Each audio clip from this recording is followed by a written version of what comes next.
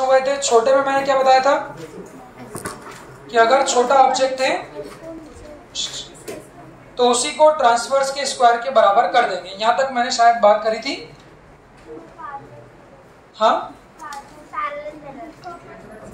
Parallel मेरे मुझे अपना एक अलग एक्स्ट्रा पॉइंट था अपना। वो अपन निकाला था। चलो, इसके बाद एरियल मैग्निफिकेशन में क्वेश्चन कैसे बनेंगे वो देखना। लिखो क्वेश्चन फटाफट।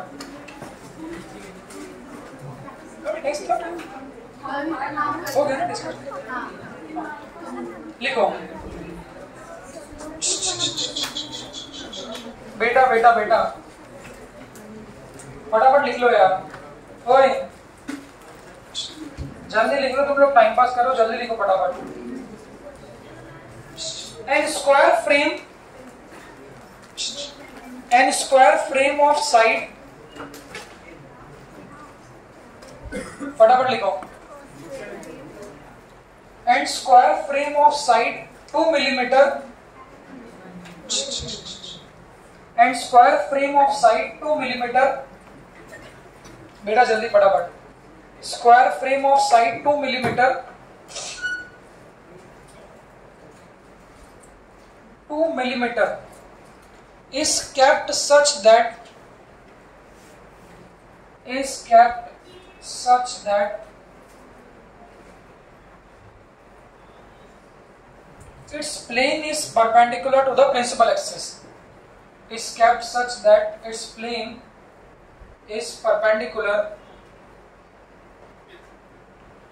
to the principal axis. Its plane is perpendicular to the principal axis. Full stop. If it is placed if it is placed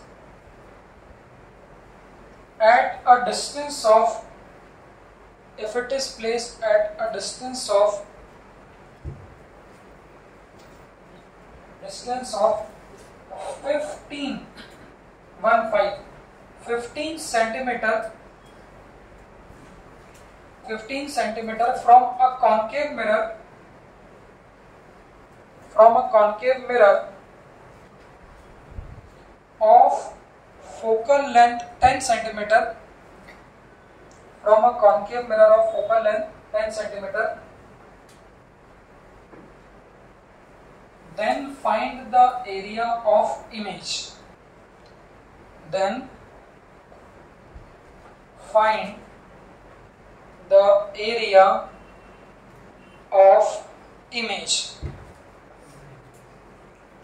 find the area of image full stop इसी question का second part लिखना if in the same question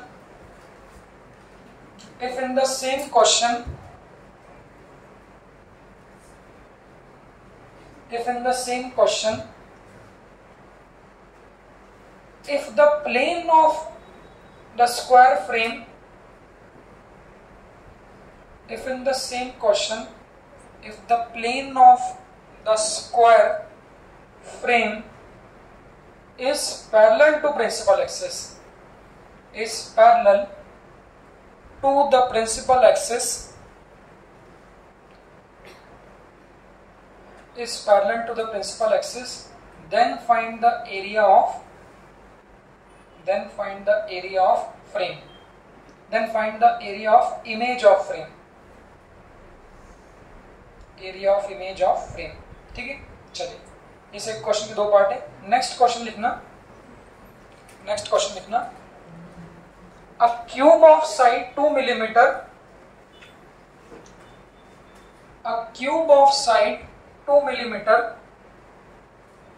cube of side two millimetre is kept in front of concave mirror is kept in front of concave mirror in front of concave mirror of focal length 20 centimeter of focal length 20 centimeter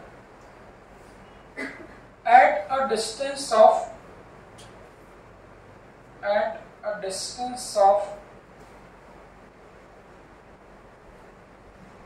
at a distance of 60 centimeter at a distance of 60 centimeter. Then find the volume of the image of q find the volume of the image of the cube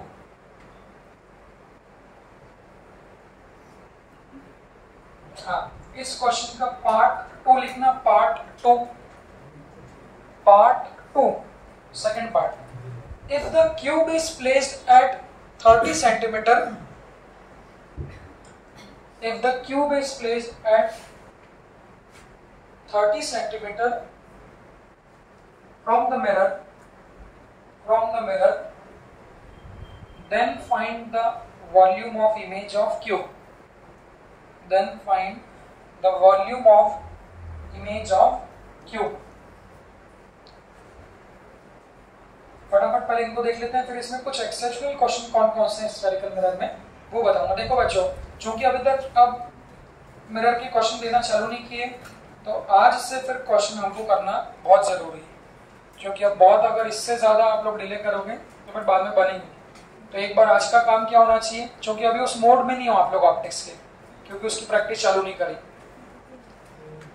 तो सबसे पहले आज सब लोग बिना कहे 20-25 minute सुनो ना। 20-25 मिनट 30 मिनट पहले कॉपी पढ़ के, कॉपी के ही क्वेश्चंस को आप लोग फिर से करो। खास तौर पे स्फेरिकल मिरर के और प्लेन मिरर के मैंने कहा था, बाहर ज़्यादा क्वेश्चन नहीं मिलेंगे। तो कॉपी के क्वेश्चन को आपका एक डेटा बैंक समझ लेना। 15-20 क्वेश्चन तो वो और दस पंद्रह बीस क्वेश्चन मैंने पहले भेजे थे। और एक बुक है, उसको भी ढूंढ के क्वेश्चन दूँगा बट जो मुख्य हमारा फोकस होना चाहिए, वो कॉन्वेक्स कॉन्केव पे होना चाहिए। तो जो पिछले वाले, उसमें मैंने पाँच या छह क्वेश्चन लिखाए थे, उसको मेरे हिसाब से ज़रूर करें। क्योंकि वो सारे टाइप के एक एक क्वेश्चन थे और ये मैंने दो में दो, चार पार्ट लिखा दिए। तो कम से कम इन आठ क्वेश्चंस को तो आपको फिर से करना ही है। इसी में लगभग सारी बुक के सेवेंटी परसेंट क्वेश्चन छुपे हुए हैं। अब सवाल यह है, मैंने बोला, कोई सा भी क्वेश्चन है, चालू कैसे करना है? तो आप लोग को वो टेबल दिख जानी चाहिए। वो टेबल वो टेबल दिखनी चाहिए। Magnification one dimension one dimension में भी ट्रांसवर्स और वन डायमेंशन में भी लॉन्गिट्यूडल उसको देख लो ट्रांसवर्स के फॉर्मूले रिकॉल करते चलना, चार फॉर्मूले लॉन्गिट्यूडनल के दो, पहला वाला लार्ज के लिए, अगर लार्ज है तो एमएल की value length of image upon length of अगर छोटा है तो अब ये एम टी स्क्वायर एरियल में भी आता है। सोच लो एरियल में कब आ रहा है? एरियल मैग्निफिकेशन क्या हो सकता है? एमटी का स्क्वायर भी और एमटी का क्यूब भी। स्क्वायर कब था? ऐसे कर देना, ऐसे। जब प्लेन प्रिंसिपल एक्सिस के परपेंडिकुलर है और क्यूब कब? जब प्लेन प्रिंसिपल एक्सिस के पैरेलल है। और इसी में वॉल्यूमेट्रिक निकालेंगे तो? एमटी की पावर फोर मतलब कुल मिला के जो मोटा मोटा मुझे दिखा, वो ये है कि कोई सा भी मैग्निफिकेशन पूछे, मोटे मोटे तौर पे एम टी निकालना आना चाहिए ट्रांसवर्स वाला। और ट्रांसवर्स वाले के भी जो चार फॉर्मूले आपने पढ़े उन चारों को ध्यान से सुनना, ये मैं कर रहा हूँ। इसका फ़ोटो आप लोगों को बनाना आना चाहिए, क्योंकि बुक में 90 परसेंट शायद क्वेश्चन में डायग्राम नहीं है। जब हम लोग इलेस्ट्रेशन करते हैं या मैं क्वेश्चन सॉल्व कराता हूँ, मैं तो डायग्राम बना देता हूँ तो आप लोगों को वो जल्दी दिख जाता है। बट जब वो वर्ड प्रॉब्लम होगा तो दिखेगा नहीं। इसलिए ये सारी वर्ड प्रॉब्लम लिखा रहा हूँ। सबसे पहला वाला क्वेश्चन देखिए डेटा क्या दिया हुआ है? कैसे रखा हुआ है? सबसे पहले क्या है? हाँ सारी चीज़ को लाइन बाय लाइन चलते चलना सबसे पहले स्क्वायर फ्रेम की साइड कितनी है? देखो मिलीमीटर को ही पढ़ के सोच लो कि ये स्मॉल ऑब्जेक्ट वही कॉन्सेप्ट लगना है। आगे पढ़ाए इसको कैसा रख दिया? उसका प्लेन परपेंडिकुलर है किसके? प्रिंसिपल एक्सिस के। कहा रखा? वो data if it is placed at a distance of 15 centimetre वही अंडरलाइन करो 15 सेंटीमीटर किसकी वैल्यू फ्रेम मतलब ऑब्जेक्ट और ऑब्जेक्ट की दूरी मतलब u sign convention u class में सारे साइन कन्वेंशन रिवाइज करते चले यू नेगेटिव और फोकल लेंथ कितनी दी है? कॉन्केव मिरर का साइन कन्वेंशन लाइन कॉन्केव मतलब नेगेटिव अबे लाइन क्या बताई थी? कॉन्केव मतलब नेगेटिव फोकल। कॉन्केव शब्द जुड़ा है मतलब फोकल लेंथ नेगेटिव तो हमेशा अगर अच्छे से बिना गलती के सीखना चाहते हो गिवन लिखो। तो u is equal to minus fifteen f is equal to minus ten और साइज़ ऑफ़ स्क्वायर स्क्वायर है तो सारी साइड क्या होगी? बराबर होगी। तो डेटा लिख लिया। फ़ोटो कैसा बनेगा बच्चों? देखो। कॉन्केव प्रिंसिपल एक्सिस देखते चलना। ऊपर देखो पहले। ये फोकल लेंथ है 10 सेंटर ऑफ़ कर्वेचर कितना होगा? फोकल लेंथ है 10 सेंटर ऑफ़ कर्वेचर 20 रखा कहाँ? 15 पे। तो कैसे रखेंगे? देखो परपेंडिकुलर है तो। इसीलिए मैंने पूरी टेबल एक साथ लिखा दी थी और एक एक जैसे क्वेश्चन को एक तरफ़ लिखी बुक में दोनों मिलेंगे एल के मॉड्यूल में कोई एक दिया है कोई एक दूसरी बुक में दिया हुआ। दोनों एक साथ नहीं दिए। तो जब दोनों को आप एक साथ पढ़ोगे तब आपको दोनों में फ़र्क समझ में आएगा। पहला केस ये बन गया। अब जो दो मिलीमीटर है वो क्या है? साइज़ ऑफ़ ऑब्जेक्ट मतलब ये? तो ये स्क्वायर फ्रेम की साइड स्क्वायर है तो ये भी टू मिलीमीटर होगा और ये वाली साइड भी क्या होगी? टू मिलीमीटर अब यहाँ अपने को वो दिमाग नहीं लगाना है कि आ, कौन सा मैग्निफिकेशन होगा क्या होगा? चूँकि हमारे पास डायरेक्ट फॉर्मूला है तो 15 सेंटीमीटर क्या दिया? है ये ऐसा रख दिया। ऊपर देखना अच्छे से ऐसा। ये स्क्वायर फ्रेम तो इस स्क्वायर फ्रेम की दूरी हमारी कहाँ से? पोल से। तो इसकी दूरी पोल से ये वाली तो जो ये डिस्टेंस है, ये कितनी दी हुई हमारी? माइनस माइनस हमारा साइन कन्वेंशन बस सोचना चालू कैसे करेंगे? हमने जैसे ही पढ़ा, अगर आपको ये याद आ जाता है कि एरियल मैग्निफिकेशन जो कि प्लेन का परपेंडिकुलर है मतलब ट्रांसवर्स का स्क्वायर फिर इसको आगे उठा लेंगे। ट्रांसवर्स के लिए कौन कौन से फॉर्मूला लगाएँ? अब देखो, ज़्यादातर ये समझ में आता है कि एफ़ और यू से पहले कौन सा? पहला क्या मिल जाएगा? तीसरा। तीसरे से ही हमको क्या मिल जाएगा? एम टी की वैल्यू पटक लो, बिना गलती होने के लिए ब्रैकेट में। तीसरा सोच लो। सब लोग सोच लिया? पहले लिख दो। तो f upon f minus u अब देखना तो ट्रांसवर्स मैग्निफिकेशन होगा। यहाँ पर देख लो। रख रहा हूँ, बोलते चलना। माइनस टेन ब्रैकेट में नीचे माइनस टेन माइनस अच्छा दोनों को साइन क्यों दे रहे जो पता है उसको साइन कन्वेंशन देंगे। तो इसको भी लिख लो हमारा माइनस टेन। कोई कंफ्यूजन नहीं होना चाहिए। अब इतना छोटा रहो बचती है हाँ। कितना है माइनस तीन ना ओके अब देख लेना यहाँ पर। आगे। विथ साइन देख लो। विथ साइन तो माइनस माइनस कितना हो गया? प्लस फिफ्टीन तो फिफ्टीन माइनस टेन नीचे क्या आएगा? तो ट्रांसफर्स मैग्निफिकेशन देख लेना भाई बिना गलती के। माइनस टेन अपॉन प्लस की माइनस तो यहाँ लिख दो प्लस फाइव तो वन जा टू जा तो ट्रांसफर्स मैग्निफिकेशन हो जाएगा माइनस टू इधर देखो। बस ये तो कौन सा मिल गया? ट्रांसवर्स तो छोटा ऑब्जेक्ट है तो जो एरियल मैग्निफिकेशन है, यही क्या है? ट्रांसवर्स का स्क्वायर पटक दू यहाँ? देख लो तो माइनस टू का स्क्वायर कितना? प्लस फोर बट ये क्या मिला? एरियल अब उसको कैसे घुमाए दिमाग में? कोई सा भी मैग्निफिकेशन है, वो हमेशा इमेज अपॉन ऑब्जेक्ट होता है। अगर लीनियर है तो length of image height of image अगर एरियल है तो एरिया ऑफ़ इमेज तो इसको आगे क्या लिख देंगे? एरिया ऑफ़ इमेज अपॉन यहाँ से देखो बच्चों एरिया ऑफ़ ऑब्जेक्ट कितना होगा?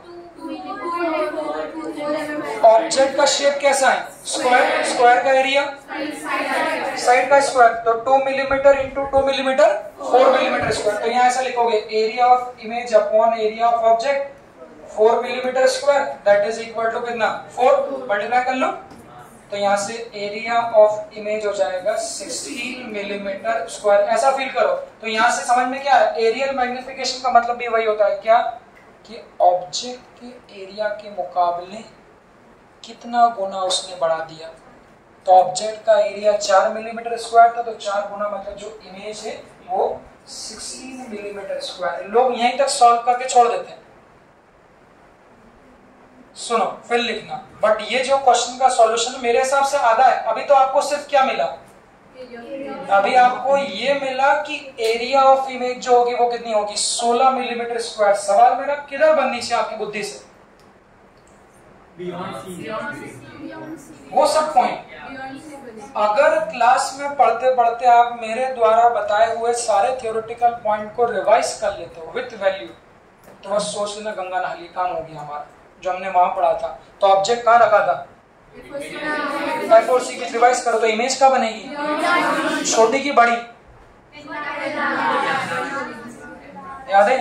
तो एफ़ और सी के बीच कैसी बनती है? बड़ी बनती है। तो तो गई बड़ी? चार मिलीमीटर स्क्वायर का ऑब्जेक्ट था तो कितने का मिल गया? सिक्सटीन अब एग्जैक्ट पोजीशन मतलब क्या निकाले?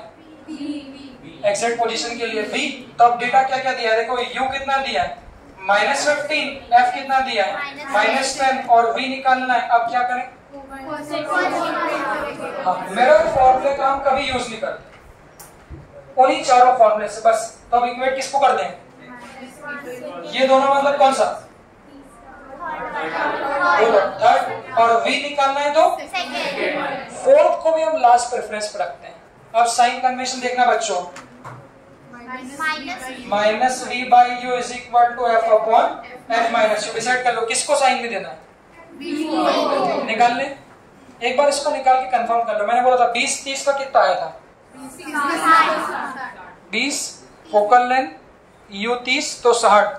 दस पंद्रह का मैंने शायद तीस कहा था। एक बार उसको क्रॉस चेक कर लो। हालाँकि मैं 99 परसेंट श्योर वही आएगा। एक बार इसको यहाँ क्रॉस चेक कर लो। एक बार देख लो यहाँ पर पेन देखना। गलती साइन की ना हो जाए बस ये देख लेना तो यहाँ पर लिख दिया मैंने माइनस यहाँ पर बच्चों लिख दिया v निकालना है तो वी को कुछ नहीं किया। यहाँ पर देख लेना यू निकालना यू कितना है?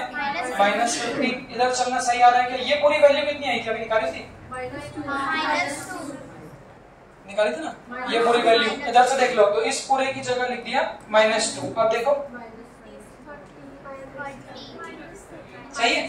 तो इधर देखो ये माइनस से माइनस क्या हो गया? कैंसिल तो ये v की वैल्यू कितनी आ जाएगी माइनस थर्टी अब याद रखना आगे से बीस तीस का साठ और 10 15 का 30 मतलब अगर फोकल लेंथ 10 है ऑब्जेक्ट 15 पे रखा है तो उसकी इमेज 30 सेंटीमीटर दूरी पर बनेगी. रियल बनेगी कि वर्चुअल अब वो डिसाइड कैसे करोगे? सवाल अंदर कब बनती है? अंदर. हाँ अंदर कब बनती? जब ऑब्जेक्ट का आता? पोल और फोकस के बीच। बट अगर एफ़ और सी के बीच तो इसकी किधर बनेगी? इधर। तो फाइनल फ़ोटो बच्चों कैसा दिखेगा? आपको बताओ। फाइनल फ़ोटो ऊपर देखो, सोचो। तो फाइनल फ़ोटो कैसा है? Image will be formed at 30 centimetre and the area of image will be what 16 बड़ा। तो वो ऐसा दिखेगा। कलर चेंज करके देखना, ये। क्या बोलते हो? और यहाँ से आपका सिंबल है वी थर्टी सेंटीमीटर तो ये 16 मिलीमीटर स्क्वायर मतलब ये साइड कितनी हो जाएगी? चार मिलीमीटर और ये साइड भी कितनी हो जाएगी? चार मिलीमीटर तब जो इमेज है उसका एरिया 16 तो उसको फील करो। फील करो। रखा कैसा था? कॉपी देना। फील करो। तब वो आपके दिमाग में इंप्रेशन छप जाएँगे। तो वो कैसा आ रहा है? ऐसा देखो, ऐसा। ये। ऊपर देखो।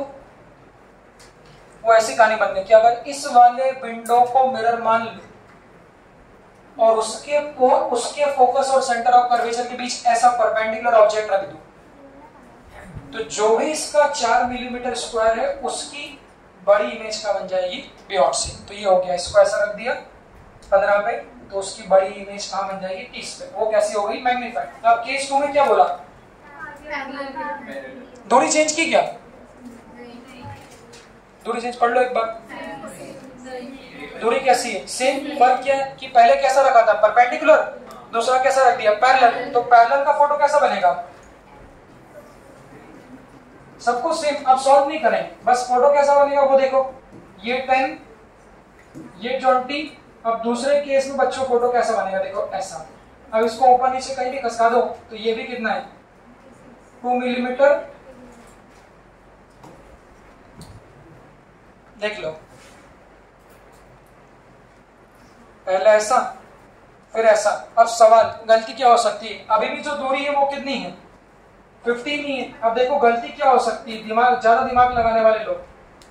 वो इसकी साइड की दूरी कुछ और ले लेंगे, इसकी साइड की दूरी कुछ और ले लेंगे। वो सब नहीं करना। अगर मिलीमीटर में करोगे तो वही आएगी। 15 आएगी और एक कितनी आएगी? 15.2 आएगी।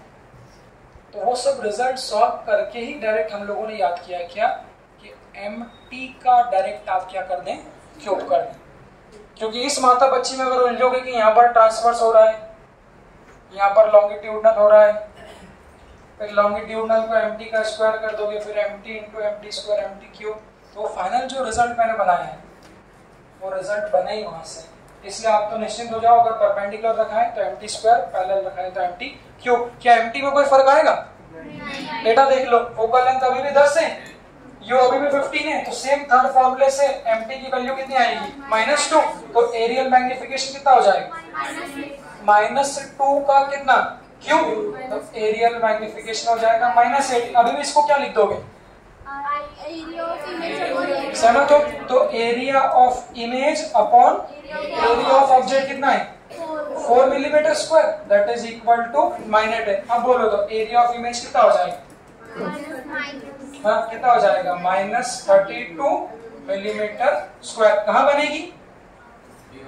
बियॉन्ड सी भाई अब देखो बच्चों चार मिलीमीटर स्क्वायर से एरिया ऑफ़ इमेज कितना हो गया? Thirty two. तो पहले कितने गुना था? चार गुना? अब कितना हो जाएगा? आठ गुना। तो इमेज ऐसी बन जाएगी। इस, इसमें कोई ऐसी हो जाएगी कोई। तो स्क्वायर है तो उसमें फ़र्क नहीं पड़ेगा। तो ये ऐसी बनेगी। बनेगी उतनी दूरी पे? भी कितना आएगा? थर्टी आएगा। साइड कितनी हो जाएगी वैसे? रेक्टेंगल हो जाएगा बताओ साइड हालाँकि निकाल नहीं सकते, मुझे लगता है। हाँ वो थोड़ा सही बात है। साइड नहीं निकाल सकते, क्योंकि वो थोड़ा रेक्टेंगुलर शेप की इमेज तो बन जाएगी। हाँ अब देखो क्वेश्चन में क्या क्या मिलेगा? ये दो क्वेश्चन मिलेंगे।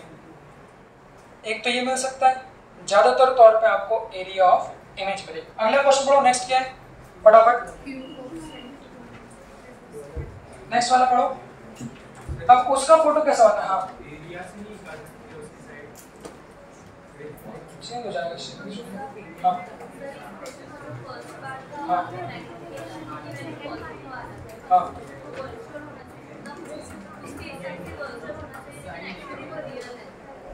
नहीं नहीं। जो प्लस और माइनस साइन है, वो सिर्फ़ लीनियर मैग्निफिकेशन पे वैलिड है। एरियल और वॉल्यूमेट्रिक मैग्निफिकेशन हम लोग रियल वर्ड छोड़ेंगे वो सिर्फ़ प्लस माइनस ट्रांसफर्स के साइन हाँ चलो हाँ।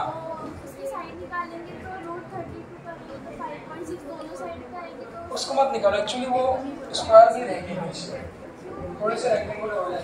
तो सोचने वाली बात है, ये इस इस डिस्टेंस के कारण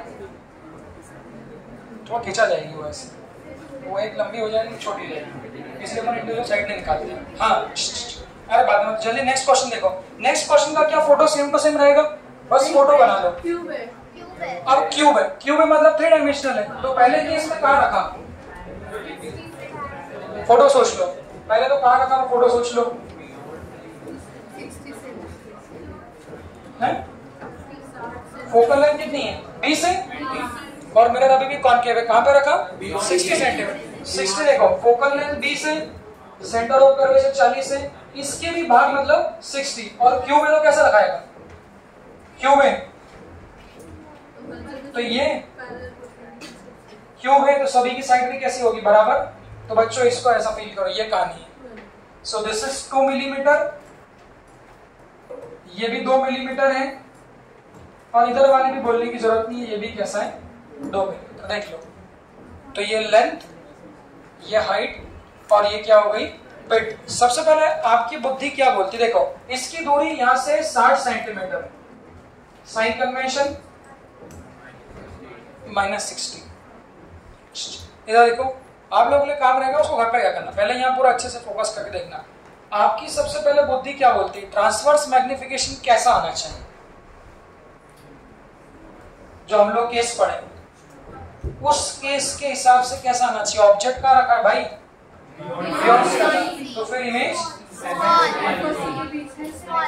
पहली बात तो पोजीशन एफ़ और सी के बीच इमेज कैसी बननी चाहिए? छोटी। ये हमारी बुद्धि कहती है, जो हम लोग देखें।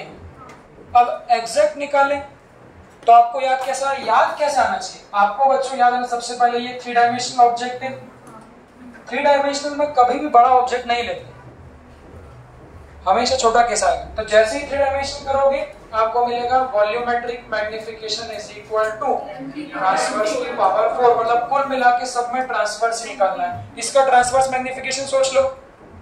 फॉर्मूले से। सोच लिया? तो ट्रांसवर्स मैग्निफिकेशन थर्ड लगाऊँगा। F upon f minus u sign देख लो। देख लो, जहाँ उंगली रख रहा हूँ वहाँ का साइन देखना। माइनस ट्वेंटी नीचे। माइनस ट्वेंटी यू को साइन दू। क्यों?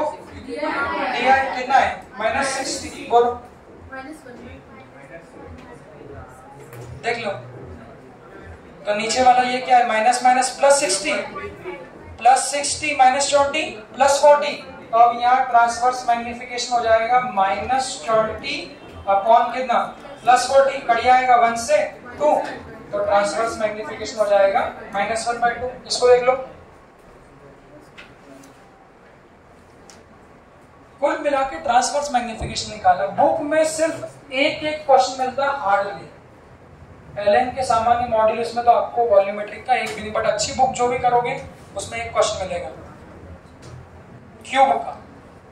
तो ये मिल गया हमको क्या? ट्रांसवर्स मैग्निफिकेशन बच्चों, आगे देखना। एक मिनट ऊपर देख लो, बस अब इस वॉल्यूमेट्रिक मैग्निफिकेशन क्या लिख दोगे? ट्रांसवर्स की पावर फोर तो वो वॉल्यूमेट्रिक मैग्निफिकेशन हो जाएगा। क्या बोलते हो? माइनस वन बाई टू की पावर फोर तो वो वॉल्यूमेट्रिक मैग्निफिकेशन हो जाएगा वन बाई सिक्सटीन इसको क्या लिख दोगे वॉल्यूमेट्रिक मैग्निफिकेशन क्या लिख दोगे कोई सा भी है तो इसको लिख दोगे volume of image upon volume of object कितना है? क्यूब है। तो साइड की पावर थ्री तो two into two into two unit millimetre cube cube है ना वॉल्यूम तो मिलीमीटर क्यूब ये वैल्यू किसके बराबर है? वन बाय सिक्सटी तो what will be the volume of image multiply कर दोगे। कर दो? तो वन बाय टू मिलीमीटर कहा बनेगा? दूरी नहीं तो क्या डायरेक्ट ऐसा कर दूँ क्या? अगर 20 30 का 60 है तो 20 60 का 30 आ रहा है क्या? देख लो मतलब ऑब्जेक्ट का रखा है? 60 पे एफ़ कितना है? 20 है। तो v देख लो क्या 30 आ रहा है क्या उल्टा करने पे। है? यहाँ से? अगर v निकालना होगा तो यूज़ कर दू? Minus v by u u कितना है? माइनस सिक्सटी डायरेक्ट यूज़ कर लो। और ये कितना आया था? माइनस वन बाई टू देखो।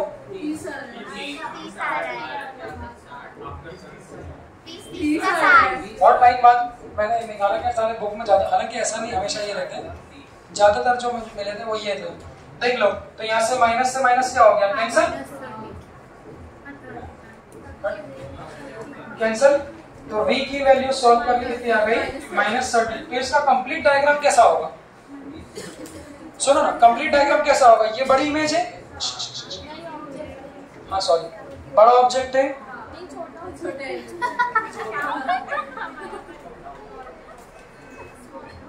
तो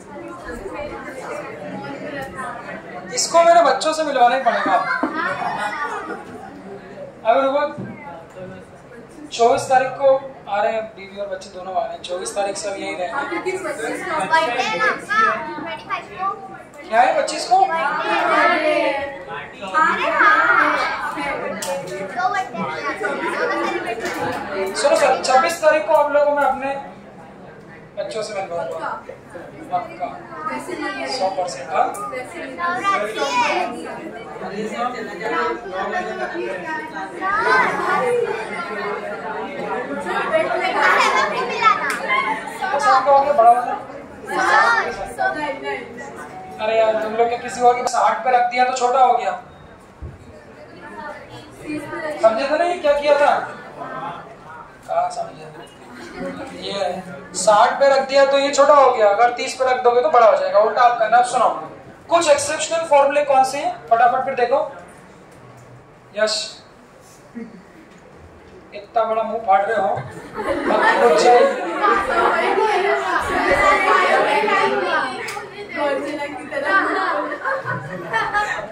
मक्खी घुस जाएगी अंदर।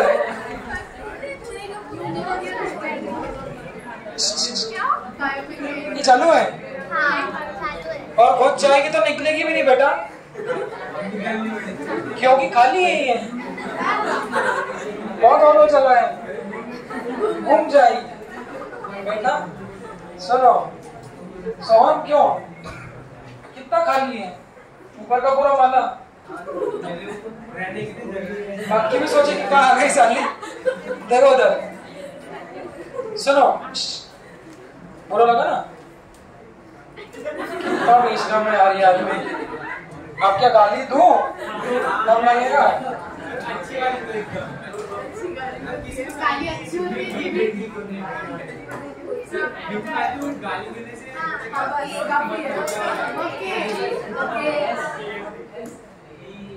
अरे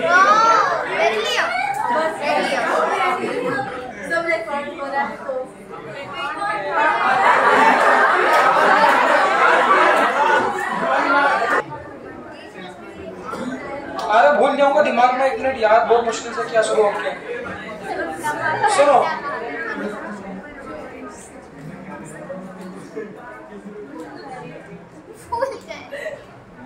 सुनो। अब एक क्वेश्चन आएगा। एक क्वेश्चन मात्र, एक मात्र क्वेश्चन है। Diameter of image of sun पे सुनो बेस्ड मिरर में भी बनेगा लेंस में भी बनेगा। तो आप लोग उसको अच्छे से देखना, क्या कहानी है?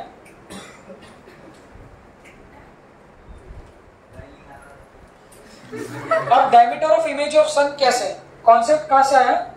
तो देखो, बचपन में कॉन्वेक्स लेंस से मैग्नीफाइंग लेंस जो आप लोगों के पास होता था स्कूल में एक्सपेरिमेंट कराते थे वो कागज़ जलाने वाला। तो जलता था नहीं कभी वो? बस। तो वो जो गर्म हो रहा है तो वो जो दिख रही है आपको एक, वो गोली it is a kind of what आप सन के सामने उसको रख रहे हो, और सन तो बहुत बड़ा अनंत है। उसकी इमेज को लाइट को कॉन्सेंट्रेट करते करते कहीं ना कहीं वो जो कॉन्सेंट्रेटेड फॉर्म है, वो वो इमेज ही है। किसकी इमेज हमारी? सन की है। तो उसके लिए सर क्या कहते थे? हर जगह पे नहीं चलेगा। आप पहले ऐसा करते थे ना उसको, दूर पास। फिर ऐसा करते करते करते करते एक पॉइंट कैसा आता था? जब वो बिल्कुल शार्प होता था। तो वो शार्प पॉइंट जो रहता है उसी को फोकस कहते हैं क्योंकि ऑब्जेक्ट जब इन्फिनिटी पे है तो इमेज जो शार्प बनती है वो कहाँ बनती है? फोकस पे। सेम टू सेम कॉन्सेप्ट आप लोगों के लिए कॉन्केव मिरर पे भी बेस्ड देखो बच्चों। और यही this is also the principle of solar cooker कह सकते हैं। सोलर कुकर जानते हो बचपन में? प्रोजेक्ट बनाते थे क्या करते थे उससे? हाँ खाना बनाते ना? बनाते ना? तो उसमें वो क्या बोलते हैं? जिसको भी पकाना है उसको बोलते हैं ना फोकस पे रखो। कहीं और नहीं चलेगा। तो वो कॉन्सेप्ट ऐसा ही देखो। ये मान लीजिए कॉन्केव मिरर है फटाफट देखना फिर खत्म हो जाएगा आज इसको। ये हमारा सन है। अब सबसे पहले तो डायमीटर ऑफ़ इमेज क्या है, उसको देखिए। ये हमारा प्रिंसिपल एक्सिस से देखो तो देखो। ये हमारा बड़ा सन है। कहाँ है, हमें नहीं पता। बट सिंस हाँ दूर है। सिंस इट इज़ ऑब्जेक्ट उस ऑब्जेक्ट को मान लो इंफिनिटी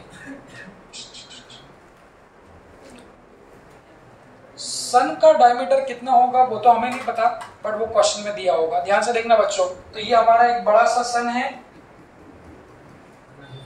और इस सन का कुछ ना कुछ डायमीटर है। अब देखो। चूँकि ये ऑब्जेक्ट ध्यान सुनना। चूँकि ये इंफिनिटी पे है तो इसकी एक छोटी सी इमेज हम लोग कहाँ बोले हैं? फोकस पे बनेगी अब वो इमेज कैसे बनेगी? देखो रे डायग्राम से। अगर रे डायग्राम से देखें, देखो यार प्लीज़ देखो यार। अगर रे डायग्राम से बोले तो वो कैसे दिखेगी? देखो, ऐसी। तो ये यहाँ से लाइट आएगी, जितने एंगल पे पोल से गिर रही थी, उतने एंगल पे क्या होगी? निकल जाएगी। वैसे ही एक लाइट कुछ आएगी पैरेलल का तो उसको फाइनली बना के ऐसा बना दो। तो ये जो फोकस पॉइंट होगा, इस फोकस पॉइंट पर इमेज बनती इसको ध्यान से देखना, दो बार जे एडवांस में पूछा हुआ क्वेश्चन भी है। लेंस के साथ मल्टीपल चॉइस में पूछा था। इस रिज़ल्ट को प्रूव करने के बाद डायरेक्ट याद रखना। वो रिज़ल्ट क्या है? इसको अच्छे से देखना। ये हमने बना लिया। कि जो ऑब्जेक्ट इंफिनिटी यहाँ से एक लाइट आई, जितने एंगल पोल पे गिरी थीटा उतने ही एंगल थीटा से चलेंगे। दूसरी लाइट ऐसे पैरेलल आएगी फोकस से पास जाएगी, वो दोनों जो मीट होगी, वो यहाँ पर होगी। तो ये जो बन रहा है, ये दूरी, ये क्या बन गया? डायमीटर ऑफ़ इमेज इसको देखना। बच्चों तो ये डायमीटर ऑफ़ ऑब्जेक्ट है और ये डायमीटर ऑफ़ क्या बन गई? इमेज है। हमको ये डायमीटर ऑफ़ इमेज बनानी मेरा सवाल ये, कि ये दूरी किसके बराबर है? जो कि कहाँ बन रहा है? ऑब्जेक्ट इंफिनिटी में तो ये जो दूरी है, ये दूरी किसके बराबर होगी? फोकल लेंथ अब देखो, क्या सिमिलर ट्रायंगल दिख रहे हैं? सिमिलर ट्रायंगल कैसे दिखते हैं सिमिलर ट्रायंगल कौन से वाला? तो एक ट्रायंगल कौन सा बन गया? बड़ा वाला? बड़ा वाला देखो बच्चों। तो ये बड़ा वाला और ये क्या बड़ा वाला? तो सिमिलर ट्राइंगल में क्या बताया था मैंने? परपेंडिकुलर का ratio is equal to base का रेशियो तो ऑब्जेक्ट में परपेंडिकुलर का रेशियो ध्यान से देखना तो ये। बड़ा ट्रायंगल कौन सा? सिमिलर देख लो। तो ये ये ये। बड़ा ट्रायंगल है, दूसरा ये ये ये। छोटा ट्राइंगल तो बड़े ट्राइंगल के परपेंडिकुलर का रेशियो देखना ये। तो diameter of object sun upon base क्या लोग? अब कोई बोल सकता है इंफिनिटी कोई बोल सकता है अगर यहाँ से यहाँ तक की दूरी इंफिनिटी ले तो बात ही खत्म हो गई फिर तो। समथिंग डिवाइड बाय इंफिनिटी कितना हो जाएगा? मैं मानता हूँ वो दूर है। तो क्वेश्चन में दिया होगा। पाँच हज़ार करोड़ किलोमीटर दूरी पे तो five into ten to the power twenty kilometre दूरी पे दी हुई ना दूरी? अगर दी हुई तो उसको इन्फिनिटी नहीं लेंगे। तो ये होगा यू ओ देखना यू ऑब्जेक्ट की दूरी यहाँ से। तो उसको लिख दोगे यू बन गया? तो परपेंडिकुलर अपॉन बड़े वाले का क्या? Base triangle similar is equal to सोच लो। क्या बोलते हो? तो बड़े वाले का परपेंडिकुलर अपॉन बड़े वाले का बेस इज़ इक्वल टू छोटे वाले का परपेंडिकुलर छोटे वाले का बेस किसके बराबर है? फोकल लेंथ तो ऐसे लिख दो। डायमीटर ऑफ़ इमेज अपॉन क्या बोलते हो बच्चों? इसको और आगे सॉल्व करूँगा तो इस पूरे को किसके बराबर लिख सकते हैं? वो भी देखना। सुनो इस पूरे को। क्या इस बड़े वाले ट्राइंगल में अगर मैं टेन थीटा लगा दूँ तो? सोच रहे हो? ये ये बड़े वाले ट्राइंगल में बच्चों अगर मैं क्या लगा दू? टेन थीटा लगा दूँ तो बड़े वाले ट्राइंगल में टेन थीटा बराबर क्या हो जाएगा? वही परपेंडिकुलर डीओ अपॉन क्या? यू तो डीओ अपॉन क्या यू पढ़ाया था इलेवन क्लास में? अगर थीटा छोटा हो तो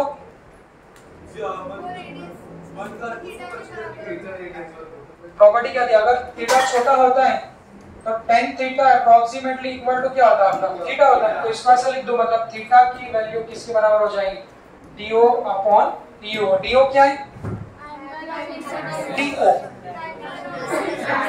diameter of object UO क्या है? शब्दों में पढ़ना पड़ेगा ना तो डायमीटर ऑफ़ ऑब्जेक्ट और यूओ क्या distance of object from the mirror तो इन दोनों का रेशियो ही थीटा अब थीटा को शब्दों में क्या बोलो? नहीं। शब्दों में कुछ और मिलेगा। ध्यान से देखना, ये थीटा किसका एंगल है?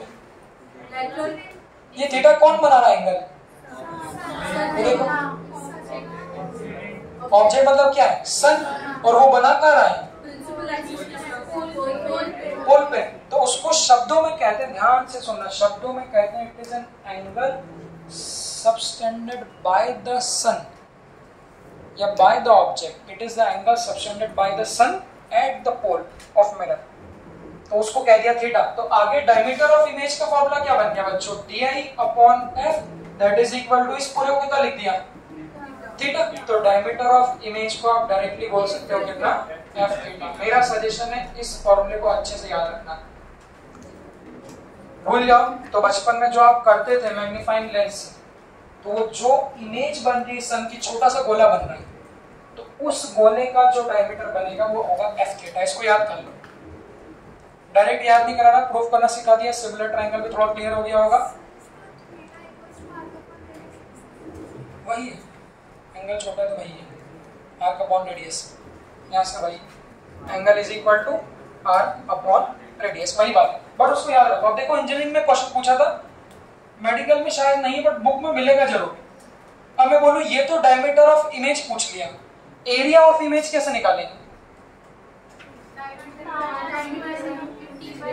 अगर डायमीटर बन गया तो एरिया क्या होगा? पाई आर स्क्वायर आर को डिवाइड टू आगे लिख दू, छोटा करके, एक ही पेज पे देखना। दोनों क्वेश्चन पूछे थे वहाँ पर मल्टीपल चॉइस के साथ में। फिर इसको अपन याद रखेंगे बच्चों, कि अगर एरिया ऑफ़ इमेज पूछेगा तो वो हो जाएगा pi r pi r square r को डी बाई टू तो pi d i square by कितना? फोर तो एरिया ऑफ़ इमेज बन जाएगा पाई बाय फोर डायमीटर का स्क्वायर कितना? F square theta square so हमारा एक संबंध क्या है? कि डायमीटर ऑफ़ इमेज किसके प्रोपोर्शनल है? एफ़ के? बट जो एरिया ऑफ़ इमेज है, वो किसके प्रोपोर्शनल है? एफ़ इस रिलेशन को आप लोग डायरेक्टली याद रखिएगा क्वेश्चन में। देख लो। कैसे बना है वो देख लो। क्वेश्चन पढ़ते से आपको दिख जाएगा कि ये वाले टाइप का क्वेश्चन है। अगर वो बोलता है डायमीटर ऑफ़ इमेज बट कोई लोग जो ये रट लेंगे, सिर्फ़ ये रट लिया किसी ने।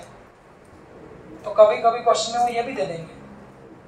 तो ये ध्यान रखना कि थीटा क्या है? तो diameter of object upon distance of object is equal to diameter of image upon focus तो इसको भी ध्यान रखना और इसको भी ध्यान रखना। कैसे बनना है वो देख लो फटाफट। ये कुछ एक्सेप्शनल क्वेश्चन है, उसमें ये पहला है। फटाफट जल्दी। दूसरा एक्सेप्शनल क्वेश्चन यहाँ पर आता है स्फेरिकल मिरर में वर्चुअल ऑब्जेक्ट का। वो भी देखिएगा। वर्चुअल ऑब्जेक्ट का। एक्सेप्शनल क्वेश्चन सिर्फ़ एक ही आता है। बुक में, अच्छी बुक में सिर्फ़ एक क्वेश्चन मिलेगा। इसको देखना। Case two for exceptional question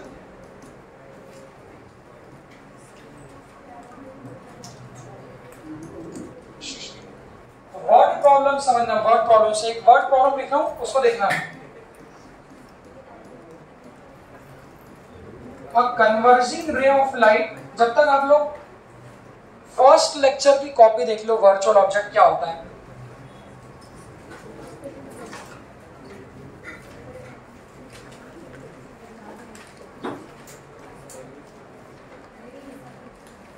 जो लोग फ़र्स्ट लेक्चर में थे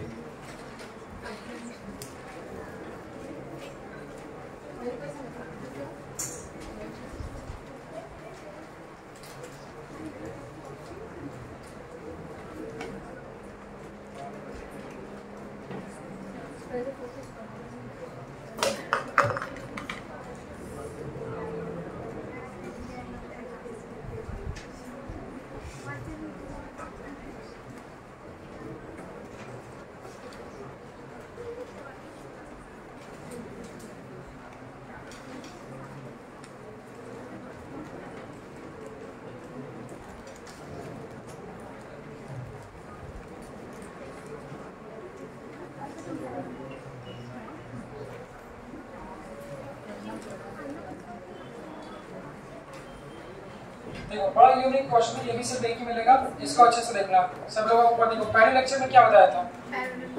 मैंने बताया था, वैसे तो वर्चुअल ऑब्जेक्ट को हम लोग बहुत ज़्यादा, कोई भी एग्ज़ाम में बहुत ज़्यादा कंसिडर नहीं करते बट एक एक क्वेश्चन तो करना पड़ता है। वो एक एक क्वेश्चन कैसा था, देखो। पढ़ ली कॉपी मैंने बताया था फ़र्स्ट लेक्चर में कि अगर कोई ऑब्जेक्ट से लाइट रियल है तो कैसी आ रही? थी या फिर रियल ऑब्जेक्ट से लाइट कैसे आती है? हमेशा कैसे आती है? डाइवर्जिंग आती है? वर्चुअल से? हाँ पैरेलल को तो आप किसी में भी रख दो रियल में रख दो या उसमें रख दो। हालाँकि पैरेलल लाइट कभी डाइवर्जिंग नहीं होती तो उसको भी किसमें रख देंगे? वर्चुअल तो सबसे पहले सारे क्वेश्चन को हटा के देखो। आप कंपेयर करना। सबसे पहले अभी तक मैंने किसी भी क्वेश्चन में ऐसा कुछ नाम नहीं लिया क्या कन्वर्जिंग रे ऑफ़ लाइट अभी तक सारे क्वेश्चन में चर्चा क्या थी? कि ऑब्जेक्ट को 30 सेंटीमीटर पर रख दिया 15 पे रख दिया 20 पे रख दिया 60 पे रख दिया तो अभी तक सामान्य चर्चा थी कि ऑब्जेक्ट को कुछ दूरी पर रख दिया मिरर से। अब चर्चा कैसा है? जैसे ये सेकंड एक्सेप्शनल क्वेश्चन है, आपको याद कैसे आना चाहिए? सबसे पहले, बस। इस लाइन से। ध्यान से देखना, मत लिखने पे फोकस करो बेटा। लिख लेना दे दूँगा दो मिनट अभी। बट देखो, समझ में नहीं आएगा। A converging ray of light meet at a point बस इसी लाइन को पढ़ के मुझे याद आ गया क्योंकि मैंने पहले क्वेश्चन कर रखा अब आप करोगे, आपको भी याद आ जाएगा कि उसने बोला, कोई कन्वर्जिंग रे ऑफ़ लाइट किसी पॉइंट पे मीट हो रही है? तो हमने याद किया कि यार इसका मतलब वो जो पॉइंट है, उस पॉइंट पर कोई वर्चुअल ऑब्जेक्ट रखा होगा। उसका फ़ोटो बना लेंगे। फिर हमने क्या किया? फिर हमने क्या किया? If a convex mirror is kept between हमेशा कॉन्केव को रखना था? मैंने सोचा इस बार थोड़ा चेंज कर देता हूँ। कॉन्वेक्स मिरर को रख दिया? किसके बीच? If a convex mirror is kept between them at a distance of what? 10 centimeter from P मतलब जहाँ P कौन सा पॉइंट है?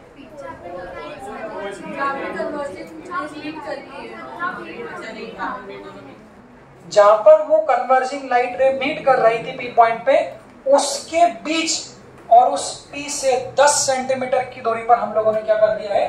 कॉन्वेक्स मिरर रख दिया। तो हमको क्या बताना है? वही position and nature of image form सबसे पहले सॉल्यूशन में देखो डायग्राम ऐसा बनना चाहिए क्या? कलर से बना रहा हूँ देखना। तो सबसे पहले बच्चों ऐसा। सोचिएगा आप सही बना रहा हूँ क्या? इसको मिटाऊ थोड़ा अगर और मिटाता। तो कोई कन्वर्जिंग रे ऑफ़ लाइट आगे जाके इस पॉइंट पी पे मीट होते है। इस कन्वर्जिंग रे ऑफ़ लाइट के रास्ते में बीच में पी से 10 सेंटीमीटर पे कॉन्वेक्स मिरर रख दिया। कॉन्वेक्स मिरर देखना सही है? ये नहीं चलेगा?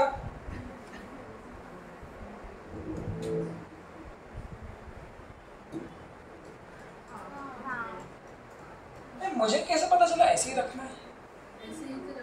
ऐसे तो रख सकते थे।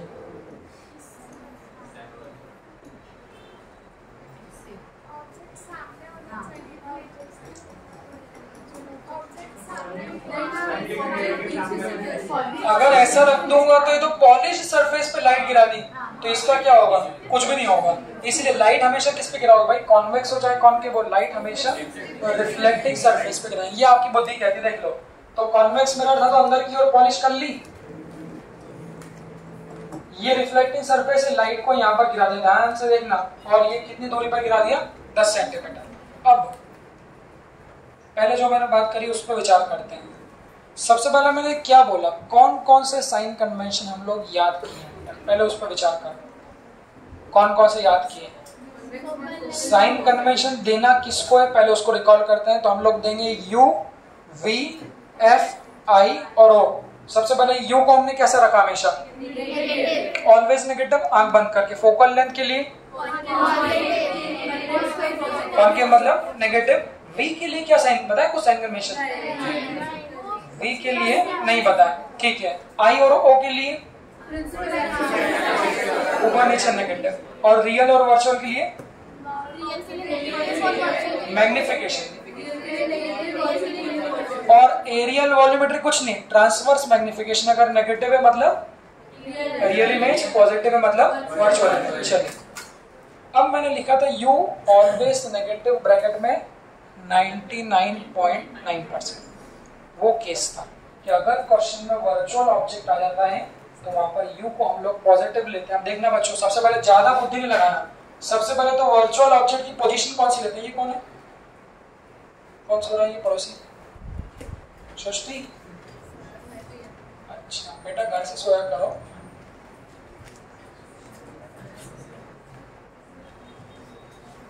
जिसके संग भी कुछ आकस्मिक घटनाएँ आ जाती है, जैसे किसी के संग कोई जाना पड़ गया कहीं पे, किसी का सर दुख रहा है या किसी के संग जो भी एक्स वाई जेड आती है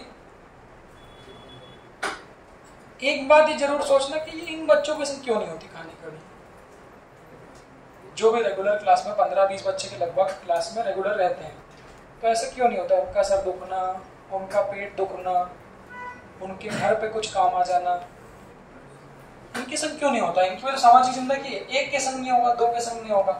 बीस, पच्चीस बच्चों के संग क्यों नहीं होता? चलिए, अब देखो, सबसे पहले बात ध्यान रखना कि जिस पॉइंट पर भी कोई लाइट क्या होगी कन्वर्ज होके आगे मीट करे that is the position of virtual object याद रखना।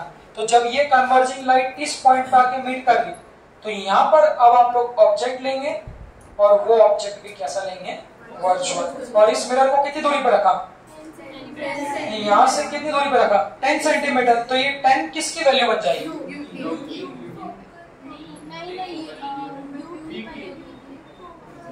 थोड़ा याद थोड़ा समझना। मैंने क्या बोला? जिस पॉइंट पर कोई लाइट कन्वर्स करती वही पॉइंट ऑब्जेक्ट की पोजीशन होती क्योंकि कन्वर्जिंग है तो वो पॉइंट वर्चुअल ऑब्जेक्ट की पोजीशन होगी। सबसे पहले छोड़ो मिरर को ये लाइट देखो। अगर मिरर नहीं होता तो ये लाइट आगे जाके किस पॉइंट पे कन्वर्ज करती है? यहाँ पे। मतलब ये पॉइंट पे किसकी पोजीशन है? वर्चुअल ऑब्जेक्ट फिर हमने क्या किया? हमने क्या किया? इस पॉइंट पी से कितनी दूरी पर? 10 सेंटीमीटर की दूरी पर किसको रख दिया है? मिरर को तो ये ऑब्जेक्ट है और ये क्या है? मिरर है। तो ऑब्जेक्ट की दूरी किससे? मिरर से। मतलब वो क्या बन जाएगा? यू बन जाएगा। सुनो अब कोई बोलते सर हम पॉजिटिव नहीं लेते क्यों ले पॉजिटिव आपने तो हमेशा बोला यू नेगेटिव लो। तो मैंने बोला ठीक है मत लो। 10 सेंटीमीटर तो लोगे ना ऑब्जेक्ट की। अब साइन कन्वेंशन कैसे देखते थे यूवीएफ में? देखो। इंसिडेंट रे की डायरेक्शन में? पॉजिटिव अपोजिट यहाँ देखो इंसिडेंट रे कौन सी? किधर आ रही है? आप देख लो, उल्टा। तो इंसिडेंट रे किधर आ रही है? लेफ़्ट से राइट तो डायरेक्शन ऑफ़ इंसिडेंट रे ऐसी है। बस तो जो मेज़रमेंट लेफ़्ट और राइट करोगे, वो कैसे होंगे? पॉजिटिव हो जाएँगे। सारे मेज़रमेंट करते कहा से? तो पोल पे आके खड़े हो जाओ। अब इस पी को कुछ और लिख देना। इस पी को लिख दो, पूरा पोल। ध्यान से, पूरा फोकस जमा के। अच्छा क्वेश्चन तो अपने आप को इस पोल पे खड़ा हुआ एज्यूम कर ले। ये खड़ा कर लिया। तो जब आप इस पोल पे खड़े होंगे और ऑब्जेक्ट को नापने जाओगे तो सोचो, आप यहाँ खड़े हो। आप यहाँ खड़े हो कि पहले उधर देखोगे। आप उधर देखोगे, उधर तो कुछ भी नहीं है। फिर आप इधर देखोगे तो आपको लगेगा, यार, इस पॉइंट पे वो लाइट कन्वर्ज कर तो जब चलोगे तो आपको इस पोल से ऑब्जेक्ट को नापने के लिए जाना पड़ेगा किधर? लेफ़्ट टू राइट तो दिस इज़ द रीजन कि वर्चुअल ऑब्जेक्ट के लिए यू पॉजिटिव लेते हैं। अब सवाल। हमने तो याद कर रखा है यू नेगेटिव लेते हैं। तो आप कहोगे, सर वर्चुअल ऑब्जेक्ट में यू पॉजिटिव लेते हैं और रियल ऑब्जेक्ट में यू नेगेटिव लेते हैं। तो एक बार फिर रियल ऑब्जेक्ट को भी प्रूव करो ऐसे। तो कोई सा भी केस ले लो। हालाँकि कर चुके बार पहले अपन बट लो। तब बिल्कुल दिमाग में वो पानी की तरह क्लियर हो जाएगा। ये रख दिया मैंने ऑब्जेक्ट यहाँ यू को साइन कन्वेंशन दो। क्यों? नेगेटिव क्यों? हाँ देख लो, इसमें इंसिडेंट रे किधर आएगी? Point light always comes from the object to the mirror तो यहाँ ऑब्जेक्ट ये रखा। तो इस ऑब्जेक्ट से मिरर तरफ़ कराओगे तो किधर आएगी? इधर इधर देख लो। मतलब राइट टू लेफ़्ट कर दो। राइट टू लेफ़्ट कहाँ खड़े हो जाओगे? पोल पे। ऑब्जेक्ट किधर है? इधर। जाओगे? लेफ़्ट टू राइट इसलिए यहाँ यू कैसा होगा? नेगेटिव अब याद कर लो। पूछूँगा कल परसों लेंस में। याद रखना रियल ऑब्जेक्ट है तो u sign negative virtual object है तो यू पॉजिटिव फोकल लेंथ के लिए? वो सेम है। कॉन्केव मतलब? नेगेटिव फोकल डी का साइन हम लोग नहीं देते। बस इसके बाद कुछ नई बात नहीं, इसको सॉल्व कर लेते हैं। तो यू की वैल्यू ले लो क्या? पॉजिटिव फोकल लेंथ थी क्वेश्चन में क्या? नहीं? यहाँ लिख लेना focal length of convex mirror is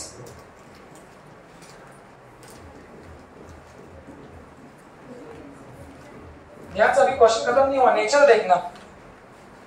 बस सॉल्व कर ले। तो सॉल्व करके कौन सा फॉर्मूला लगा रहे देखो। यहाँ से इधर देखो, फिर लिख लेना। बस यहाँ से लिख लो। तो यहाँ डेटा क्या है, बच्चों? यू की वैल्यू है plus ten f f check कर लो। क्या बोलते हो? कॉन्वेक्स है? तो प्लस फिफ्टीन निकालना क्या है? नेचर एंड पोजीशन मतलब क्या निकालना है? V इक्वेट कर दे। किसको?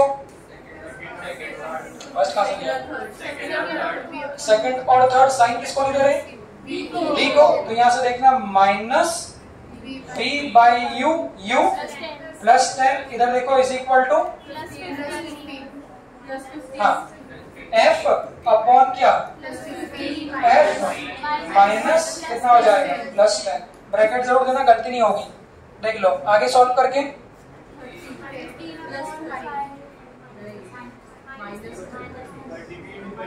हाँ? यहाँ कितना आ जाएगा? पंद्रह माइनस दस कितना? पाँच। प्लस का पाँच, ऊपर कितना है? प्लस पंद्रह अपॉन प्लस पाँच कितना? प्लस थ्री डायरेक्ट कर दूँ? तो minus v by ten is equal to कितना आ रहा है?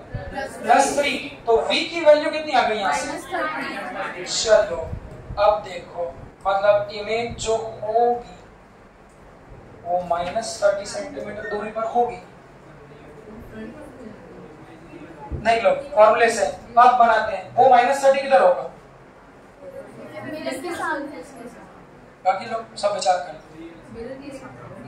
फिर इसका नेचर पूछूँगा। गहरा सवाल है। इसका रे डायग्राम देखना कितना अच्छा बनेगा। तो आपने बोला कि सर हाँ यू की वैल्यू आपने बोला प्लस टेन है, क्योंकि इंसिडेंट रे की डायरेक्शन में था वर्चुअल तो हमने याद कर लिया। हमने बोला सॉल्व करके जो v की वैल्यू है, वो नेगेटिव है। उसको पढ़ा कि v की वैल्यू नेगेटिव अगर u v f, u v f में नेगेटिव है, इसका मतलब वो अपोजिट है। किसके अपोजिट है? इंसिडेंट रे तो इसका अच्छा डायग्राम अगर मैं पीछे बनाऊँ तो बड़ा अच्छा डायग्राम है। उसका डायग्राम कैसा बनेगा, देखना। तो अच्छा ऐसा बनेगा। इंसिडेंट रे कन्वर्जिंग थी यहाँ आगे जाके बन रही थी this is the position of object this is the position, this is the direction of incident ray left to right but चूँकि, पूरा फोकस बढ़ाना, चूँकि v की वैल्यू नेगेटिव आई मतलब क्या होगा? इंसिडेंट रे के अपोजिट नापे। तो हमको लेफ़्ट टू राइट के अपोजिट नापना है। नापना चूँकि कहाँ से? पोल से। तो इसकी इमेज जो बनेगी, देखो पोल पे खड़े हो जाओ। तो यहाँ से किधर जाओ? अगर पॉजिटिव आता तो उधर जाते बट नेगेटिव आया तो उधर जाए। तो आप जाओगे इधर।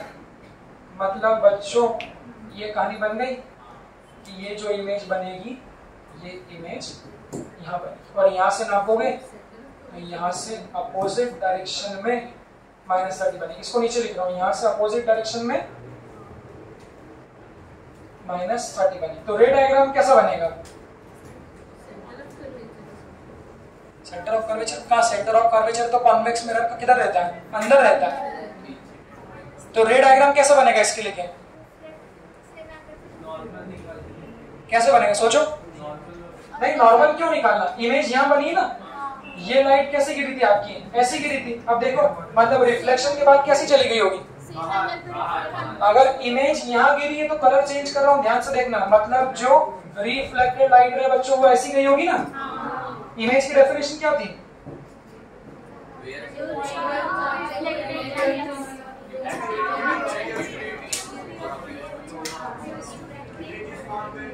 will be formed where the two light rays actually meet or appear to meet. अगर आप इस चीज़ को सोच सकते हो उतना आसान। नहीं है पहले एक मिनट शांति से मौन करके सोचे क्या क्वेश्चन था देखो। ये कन्वर्जिंग लाइट रे मिरर नहीं होता इस पॉइंट पे कन्वर्ज होती हमने कहा कन्वर्जिंग है तो ये वर्चुअल हमने कहा ये u की वैल्यू वर्चुअल है तो प्लस सॉल्व किया तो v की वैल्यू आई माइनस।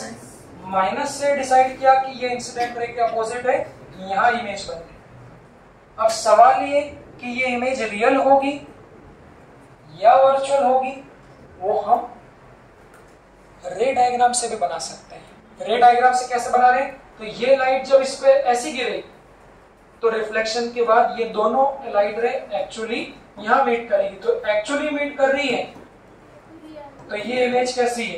रियल इमेज अब कॉन्वेक्स मिरर क्या कर सकता था? एक टेबल बना रहा था। पहले सोचो, वो शांति से सोचने का काम था। सबकी अपनी अपनी क्वालिटी थी। कॉन्केव मिरर कितने टाइप की इमेज बना रहा था? चार। मल्टी टैलेंटेड था? कौन कौन सी चार थी?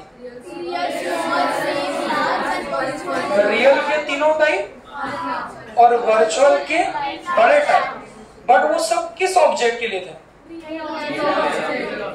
अब लाखों में कुछ बच्चे ये बात जानते हैं कि बस जो हम केसेस पढ़ते हैं, वो सारे रियल ऑब्जेक्ट के होते हैं, वो सत्य है, उसमें कोई दिक्कत नहीं। सौ में से 99 हज़ार में से नौ सौ निन्यानवे क्वेश्चन वही मिलते हैं। इसलिए वो सब बातें सच हैं। बट वो सच रियल ऑब्जेक्ट के लिए। तो आपने कहा कि कॉनकेव मिरर चार प्रकार की इमेज बनाता है। ठीक है। रियल ऑब्जेक्ट के लिए। कॉन्वेक्स मिरर कैसे बना रहा था? एक ही टाइप की बट कैसी? वर्चुअल और स्मॉल तो यहाँ से लिख रहा हूँ बच्चों, देखना। Concave mirror final conclusion convex mirror इधर। इधर क्या था? प्लेन मिरर अगर आप उस माइंडसेट को सोच सकते हो तो सोचना। Convex mirror. Plane mirror. इन सब के लिए केस देखो रियल ऑब्जेक्ट के लिए। फॉर द रियल ऑब्जेक्ट तो रियल ऑब्जेक्ट के लिए ये चार इमेज रियल ऑब्जेक्ट के लिए ये एक इमेज और रियल ऑब्जेक्ट के लिए एक इमेज प्लेन मिरर का नेचर कैसा था? वर्चुअल मतलब बी और size same size virtual same size for real object इसका और इसका? रियल तीन और वर्चुअल बड़ी बट अब यहाँ से हमारे कुछ, अब देखो, ये सीखने के बाद ऐसा नहीं करना है कि अब सब मिक्स कर दिए। ये तो सत्य, परम सत्य है ही सही। बट यहाँ से हमको एक और बात मिली। वो बात क्या मिली? कि कॉन्वेक्स मिरर देखो कॉन्वेक्स तो है। बट इसने कैसी इमेज बना दी रियल इमेज बना दी ऐसे मैंने पूछा था, कोई आपसे पूछेगा, क्या प्लेन मिरर हमेशा वर्चुअल इमेज बनाता है? समझ रहे हो? वर्चुअल इमेज तो बनाता है सेम साइज़ की बट वो सब केस किसके लिए थे? रियल ऑब्जेक्ट के थे। बट जब ऑब्जेक्ट को वर्चुअल करते हैं तो फिर केसेस आप लोगों के उल्टे हो जाते हैं। सारे तो हम बना नहीं सकते, अगर मैं कॉनकेव के सारे बना दूँगा तो फिर ऑप्टिक्स छोड़ना पड़ेगा। पहले साल जब मैं पढ़ा रहा था, पहले साल बहुत टॉप बेस्ट थी आईआईटी के समय। मुझे पहले ही साल मेरे पढ़ा बोला, आप पढ़ाओ अभिनव सर। ऐसा पढ़ाना कि बच्चों को मज़ा आ जाए। मैंने सोचा, ऐसा तो जानते हो बच्चे पहले से। डीबी सिंह खोली। डीबी सिंह बुक तो नॉर्मली कभी कोई सुनता ही नहीं है आपको भी सर्च करना। उसमें कॉन्केव मिरर में वर्चुअल ऑब्जेक्ट में सारे केसेस दिए थे। मैंने जाके वर्चुअल ऑब्जेक्ट में सारे केस पढ़ा दिए। सब बच्चे, भाई, मेरा उस क्लास से बाहर आना हुआ। वो सब भागे लाइन से, अरे बोलो भगाओ रहे हो पागल क्या पढ़ा रहे हो, सर? कुछ तो भी।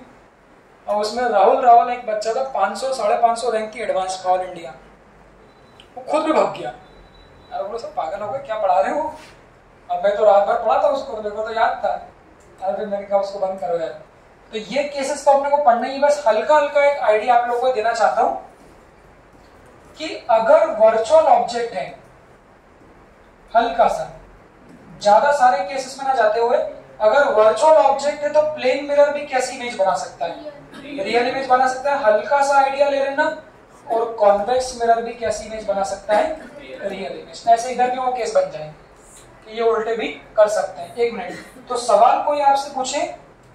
बस इतना सा। कि कैन अ प्लेन मिरर और convex mirror can a plane mirror और convex mirror form real image can statement में है तो परिस्थितियाँ बन सकती है। Yes only when the object is virtual एक बार इस पर विचार कर लो। बोलो बेटा।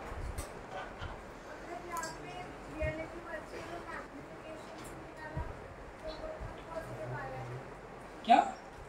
पॉइंट ऑब्जेक्ट का कभी मैग्निफिकेशन नहीं होता। पॉइंट का मैग्निफिकेशन हो सकता है। ये तो पॉइंट ऑब्जेक्ट है ना। तो इसलिए वहाँ पर मैग्निफिकेशन इसमें बहुत ज़्यादा मत घुसो। बस उसके बाद फिर कंफ्यूजन होना चालू हो जाएगा। इसको यहीं तक रखो। हाँ। पॉइंट ऑब्जेक्ट का कभी साइज़ नहीं निकालते। चलो, इस पर विचार कर लो अच्छे से। एक बार सारी बातें क्या बताई? इन पे विचार कर लो। आज से क्वेश्चन करना चालू करेंगे भाई। प्रैक्टिस देना। इसको देख लो।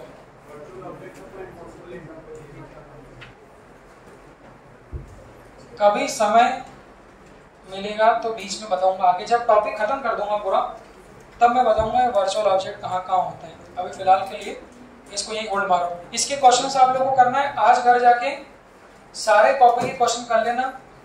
और 40-50 क्वेश्चन ढूंढ के दूँगा। कल वही लोग क्लास में आए, जो काम करके आएँगे। कल से वही पुराना नियम चालू है। निकाल लो बेटा, मोबाइल फटाफट। धन्यवाद।